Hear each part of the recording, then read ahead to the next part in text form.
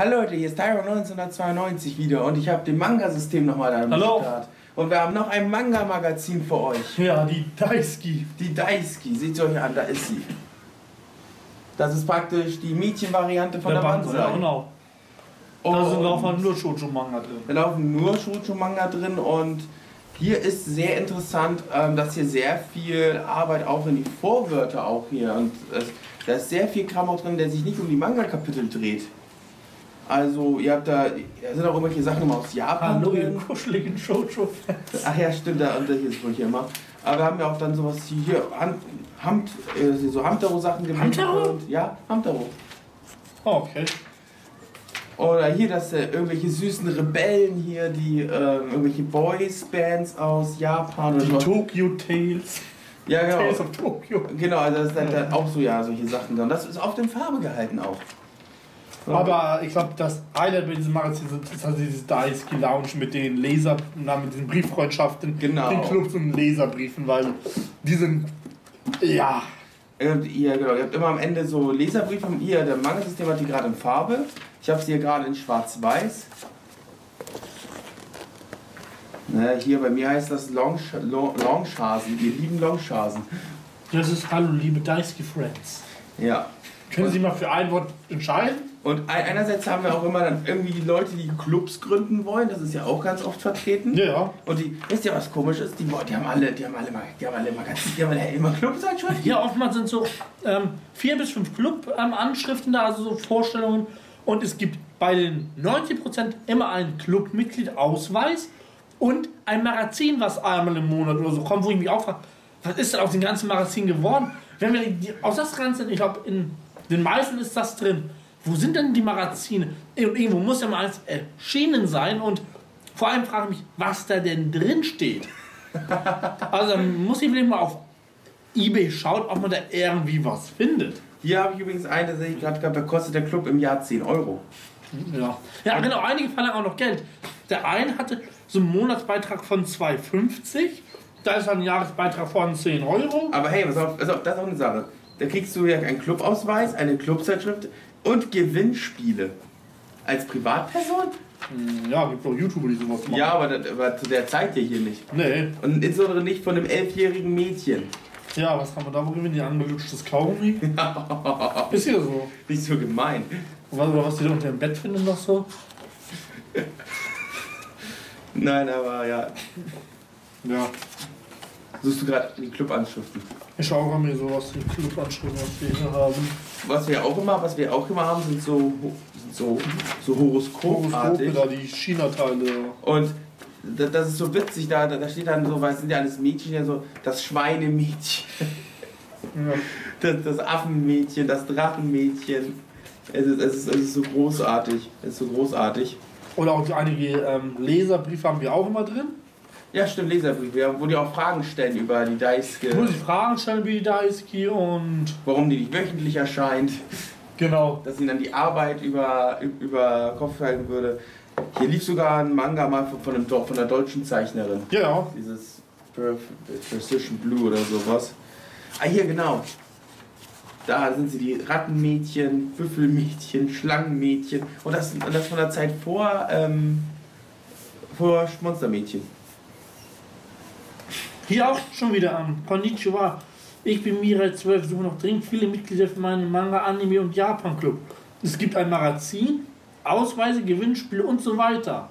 Euer Alter ist egal. Ich weiß noch, der eine da, da stand dann drin, äh, ich suche Brieffreunde, Alter 14 bis 100. Ja, oder Alter, äh, 20, nee, 10 bis 4000. Das ist so super. Also wenn wir mal schauen, wer ist hier noch alles für Magazine. Also sagen wir was, also mit den Gewinnspielen haben die es aber auch hier. Aber äh, was im Manga-Magazin am besten gefiel, das war äh, das Nihao. Ja, die meisten benutzen irgendwie Nihao.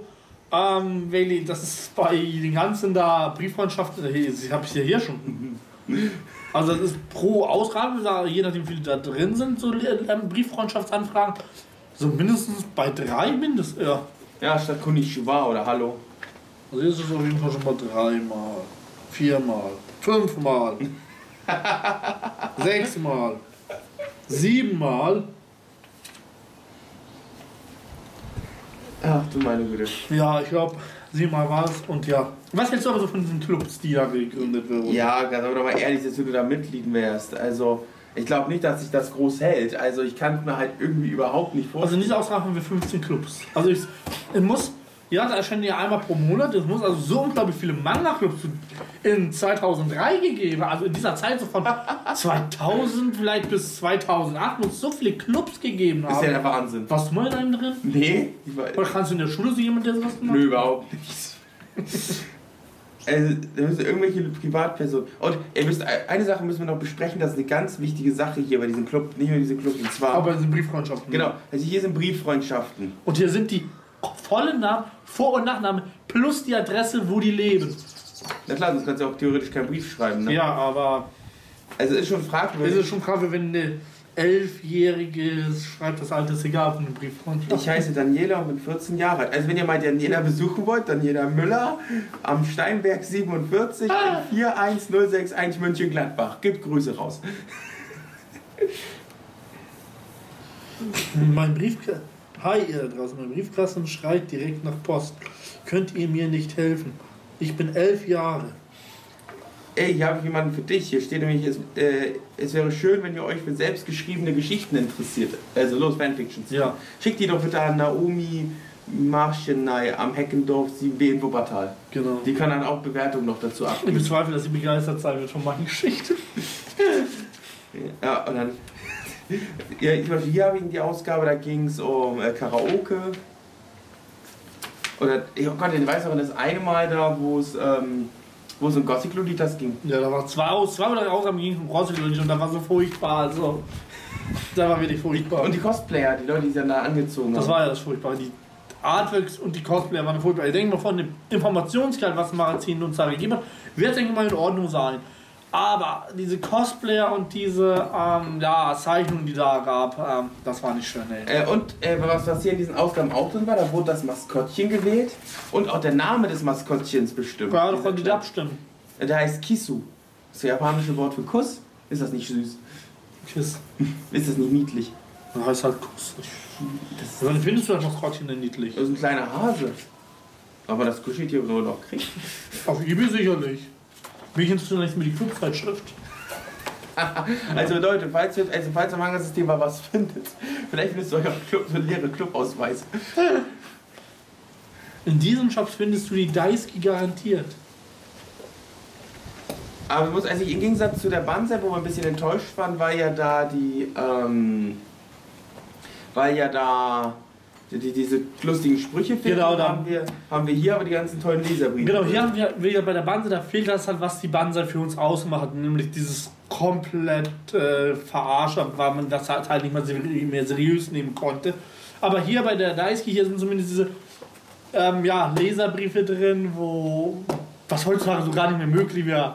Ja, also heutzutage würdest du nicht die komplette Adresse von jemandem liegen. Erst, erst richtig von einem Minderjährigen. Wassermarsch, Kiss wird getauft. Ja, hier habe ich das auch. Hier steht noch hier. Ähm, ich brauche ganz dringend einen Namen. Tja. Unser Girl in Tokio. Shibuya ist schicker. Oh, ja, hier. Übrigens, wer- willst du wissen, welches Geschlecht das Viech hat? Mädchen? Na. Übrigens, immer wieder werden wir gefragt, ist das Maskottchen eigentlich männlich oder weiblich? Die Antwort darauf lautet weder noch, denn Kiss hat kein Geschlecht und ist somit ein S. Ich dachte, das ist ein Mädchenmagazin. Wäre es jetzt nicht sinnig gewesen, wenn das ein. Das Reisbärchen. Ja, was soll ich noch sagen? Wie? Wenn wir Mädchen machen, hast du gesagt? Ja, ein Mädchenmagazin, dann müsste es eigentlich auch ein Mädchen sein. Nein, aber hier siehst du. Aha. Das haben wir also auch hier, die Reisbärchen im Früchtekorb. Oh, nee, aber schlimmer war es irgendwie Der Obstgarten. Obst, Musik aus dem Obstgarten oder sowas. Liebe Daisuke Girls and Boys. Basket. Da will ich glaube was für die Food Basket. Äh, dann ist ja auch noch. Witzig ist auch noch diese, wenn man sich diese uralte Werbung für irgendwelche anderen Zeitschriften anguckt, dann steht da sowas, so wichtig wie deine beste Freundin, die Mädchen. Übrigens, ich habe gerade den Daisuke Buchtipp. Du weißt, was, Büch, richtige Bücher? Ja, hier, warte mal. Die, die fließende Königin von Kai Meier. Das steinerne Licht und das gläserne Wort. Hallo, ihr Süßen. Daisuke in Kitty Wonderland. Ja, Oh Mann. Florian. Kind. Ah ja, stimmt, auch mit dem Hello Kitty Ding, das habe ich ja gesehen, ja. Gottschalk, Master. Handyfieber in Japan. Ja gut, das war das sind, das sind natürlich sogar interessante Sachen, die da manchmal Hier haben wir stehen. so ein bisschen mit den Gospel Lolitas, Nippon Style, Weekend Gothic Babes. Hört sich mehr aus wie irgendwie einem Sexmagazin. Bestie. Morning Musume, Interview mit Masami Suda. Ja, das ist. Es ist schon, es ist schon witzig so. Und wir müssen sagen, wir haben uns keinen einzigen der Manga angeschaut. Also, wir haben eigentlich immer nur was hier vorne drin und was hinten drin ist angeschaut. Äh, das ist, das ist ein bisschen. Man muss auch sagen, die hat am Anfang mal 3 Euro gekostet. Und da hat man echt viel gekriegt hier. Ich meine, da sind auch recht viele Farbseiten hier drin. Also für 3 Euro. Oh, oh, oh. Das muss ich vorlesen. Also wenn ihr mal in Japan seid, Überlebenstipp. Du kennst, doch, du kennst doch sicher das Gefühl. Du hast dich hoffnungslos in Shibuya verlaufen, möchtest ganz gerne die, die Gruppe kichernder Schulmädchen da vorne fragen, wie du am schnellsten zum nächsten Bahnhof kommst, damit sie nicht gleich weglaufen aus Angst, Englisch sprechen zu müssen. Hast du eher Angst, wenn du sie überhaupt ansprichst, hast du gesagt. Ja, mehr sollte sie überhaupt speziell. Holst du schnell dein geniales Survival-Item aus der Tasche. Zwei Sekunden blättert und Sumimasen be beginnst du flüssig die Konversation. Aber da gibst du doch der, der schon seit Jahren Japanisch lernt, dann hiermit beginnst du flüssig deine Konversation. Natürlich sofort mitnehmen. Aber ich habe hier noch was gefunden. Na, Aber das werde ich wie von so einer ja, einschlägigen Seite. Einsame Chöre 13. So schreiblustige Manga von 12 bis 2300 Jahre. oh, ja, das hat, oh, oh, oh, das ist, okay. Ja, ja. Einsame Chöre, ja. Oh, puff. Also ja, Leute, das könnte man, das könnte man heutzutage überhaupt nicht mehr machen so. Dass man sich da hinsetzt und dann ähm, die Adressen von Kindern liegt. Also merkt man mal, was für eine unschuldige Welt wir mal waren. Damit, damit hat das keinen Menschen interessiert. Das, das ist das Heftige eigentlich. Oh, hier ist das für dich Bühne reif, Cosplay. Einmal der eigene Held sein. Na, schön für die. Heute schon gepuschelt. Was? Das hört sich sehr, sehr zweideutig an. Heute schon eine. Noch ein Kätzchen zum Verlieben, ja.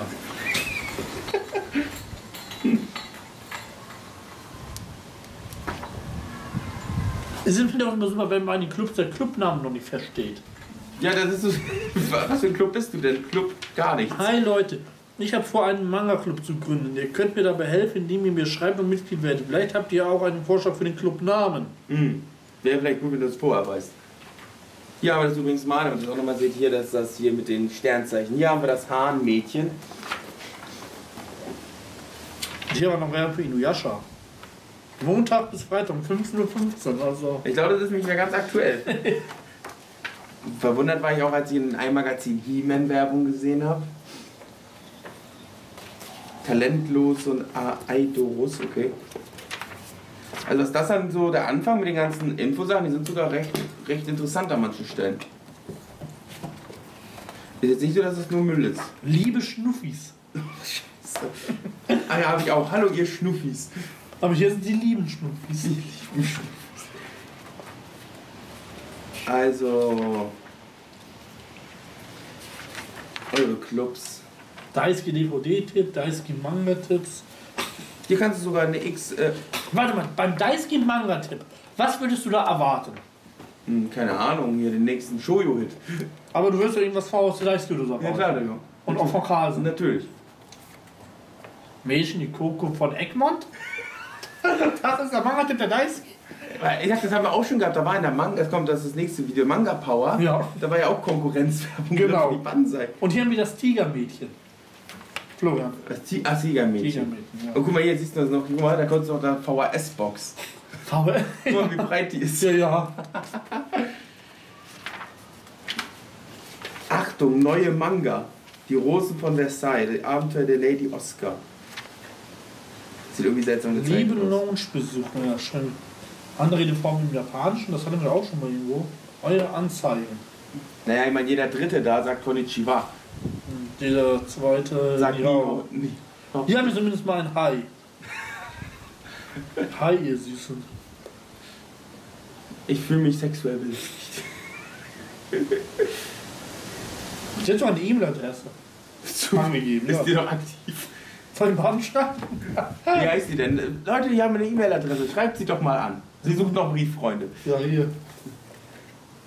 MBG? Äh, welcher davon jetzt? Da.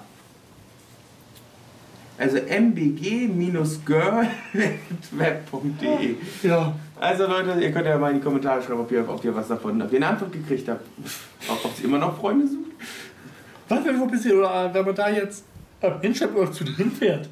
Warum- Ich meine, das sind so viele. Wir haben ja wirklich wo drei, vier Seiten, haben, die können dann, denken wir, alle weggezogen sein. Nö, wir können. Einige ne- übernehmen wir auch das Haus oder so, dann ja. PP-Spread. Stell dir vor, du klingelst da. Ja, hallo, schönen guten Tag, wir wollen so gerne Brieffreunde mit Brieffreunde werden. Haben ihre Anzeige in der Deiski gesehen. Die ist zwar ungefähr 17 Jahre alt, aber auch gut. Na, jetzt sind sie älter. Ja, ich meine, die Anzeige ist 17 Ja. Jahre alt. Daisky kommt ab jetzt jeden Monat stressfrei zu dir nach Hause. Ja, das war damals mit dem Daisky-Abo. Da hast du einen komischen Ordner bekommen mit dem nur für Daisky-Abonnenten, der Daisky Prämienplaner. Als man noch Hausaufgabenhefte und sowas geführt hat und äh, sein, noch nicht sein Handy dafür benutzt hat. Wir haben die Hausaufgabenhefte geführt. Doch, ich schon. Ich, weil ich die Hausaufgaben nie gemacht habe. Was? So geht das hier aber nicht.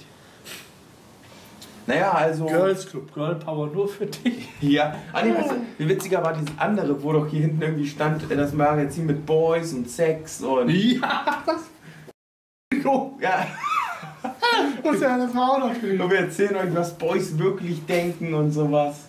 Naja, Ah, ja. für ein Mädchen, was, wenn man sieht, was so kleine Mädchen ist. Naja, ich würde ich würd sagen, die Deiske waren sicher aber ein witziges Magazin. Ja, die Daisky damit hatten wir auf jeden Fall sehr viel Spaß. Und ich meine, hier, ich sag, am Anfang hat die noch 3 Euro gekostet. Dann, ich meine, für viele Farbseiten, die am Anfang drin sind, Farbseiten sind viele, ist auch recht dick. ist dicker als die Banzai. Das ist immer unterschiedlich. Es gibt auch, ich habe da ist auch insgesamt so ein Bild zusammen, oder? Ja, ja, ja, das ist ein Bild hier zusammen. Mega Manga-Mix für Mädchen. Da war die Welt noch in Ordnung, da durfte man sowas noch Und was man natürlich noch sagen muss, egal wie beschissen das Heft letzt- letztendlich ist, man muss bei dem Heft eine Sache sagen, dem Heft für eine Sache respektvoll, nämlich es ist das längste Manga-Magazin, was hier in Deutschland lief. Alle anderen Manga-Twister, Manga-Pau und die Banse sind schon vorher geendet, aber die hat sich wirklich lange gehalten. lange gehalten. Und das muss man dem Magazin schon wirklich lassen. China Stars im Mai, J-Pop-Gewinnspiel. China Stars? Ja, es ist doch hier Und dann J-Pop? es ist hier wegen diesen Sternzeichen. Die, Ja. ich, ja mü- mü- dann müsste man es China Sterne wahrscheinlich, China Star, Stars. Ach so, also haben wir China. Ja, China Aber ja von der Musik her jetzt ja. Ja, China Stars? Das J-Pop? Okay. Ah, also das war hier die Deiske. Du siehst halt auch dieses K-Pop noch gar nicht mehr. Heutzutage wieder ganz viel K-Pop drin. Ja, heute war aber ganz viel K-Pop drin, da kannst du aber sowas von wetten. Aber auch um eigentlich, zum eigentlichen Inhalt mal zu kommen. Was sagst du zu den Mangel, die eigentlich drin sind? Ah, da waren also ein paar finde ich ganz nett. Also ich habe hier dieses Skip-Beat mal gelesen. Und dieses Fruit Basket habe ich auch mal was von gehört. Angel Sanctuary war ja auch, glaube ich, drin. Nee, da war nur Werbung drin. Ah, okay, habe ich es gesagt. Aber ansonsten, es sind halt typische Shoujo-Titel. Genau. Missiles Happy. Außer was halt wieder, was ich wieder so ein bisschen Fremdscham finde, ist halt der deutsche Mangaka hier drin. Dieses Pru Prussian Blue. Und sich so denkt, oh, du siehst auch direkt hier, du siehst direkt vom Cover, dass das ein Deutscher ist. Ja. Also dass das kein japanischer Manga ist. Automaten City Tokyo. Und das ist wirklich wahr. Der die japanische Schuluniform.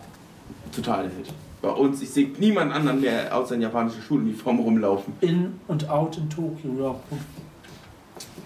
Naja, also ich würde sagen, das- war's dann für die Daisuke. Ja, Also Daisuke. Daisuke, das war, ist wirklich ein, das war wirklich ein spaßiges Magazin mal zu. Genau. Da haben wir auch immer wieder schon allein wegen den ganzen dämlichen Clubs und Leserbriefen, wo, wenn wenn steht, ich bin der einsame Gehör. Und oh, oh, oh Gott, wie viele Clubausweise da wohl manche wohl haben, wenn die sich da in vielen da angemeldet haben. Hallo, einsame Gehör. Hallo einsame Göre, ich bin ein einsamer, ich bin ein einsamer Typ Aber auf der Suche nach Liebe. aber auch wirklich hier dieses, ähm, ja, mit diesem Clubmagazin. Ich muss mal schauen, wie wir was bekommen. Mhm. Da war noch so anderes, in England Magazin war noch Werbung für ein anderes Magazin drin. Das wurde übrigens für ein anderes Ah, genau, die, die Kawaii. Die KWI und die Otaku. Ja, genau. Das war, ja. Also da, ja. Kawaii. Also das, das ist wirklich ein interessantes Magazin hier. Das zumindest wirklich. Da, da, hatten wir, da hatten wir wirklich viel Spaß mit, ja. Genau, das kann man auf jeden Fall sagen. Das hat sich auf jeden Fall gelohnt. Würde ich sagen, das war's von diesem Video. Mangelssystem, danke, dass du dabei warst. Gerne doch. Und wir sehen uns beim, beim nächsten Video wieder. Bis dann und auf Wiedersehen. Ciao.